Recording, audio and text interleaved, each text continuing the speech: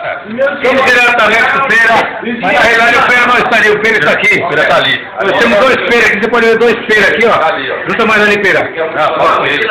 Dois Feira. E aí, Feira? Como está a expectativa do carnaval aí? Tudo certo, graças a Deus. O ensaio técnico de ontem, como foi pra você? O ensaio técnico de ontem? Maravilhoso. Maravilhoso, rapaziada toda aqui na matéria. Esse aqui é o Feira, tem dois Não, Feira. é ele, não. A gente fala com ele aqui. É ele. Ó, esse aqui eu falo com esse aqui ou eu falo com esse aqui? Não, fala com ele que ele manja mais. Então eu vou com você mesmo, mas você vai perguntar pro outro lá. Tá Tranquilo, Feira? O que, que eu falo pra ele?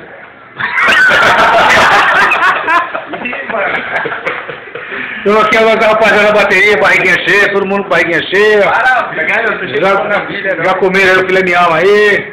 Certo, rapaziada, aqui, ó. Os coros já estão afinados, o mestre Sala ali também tem vergonha, não falou nada com nada.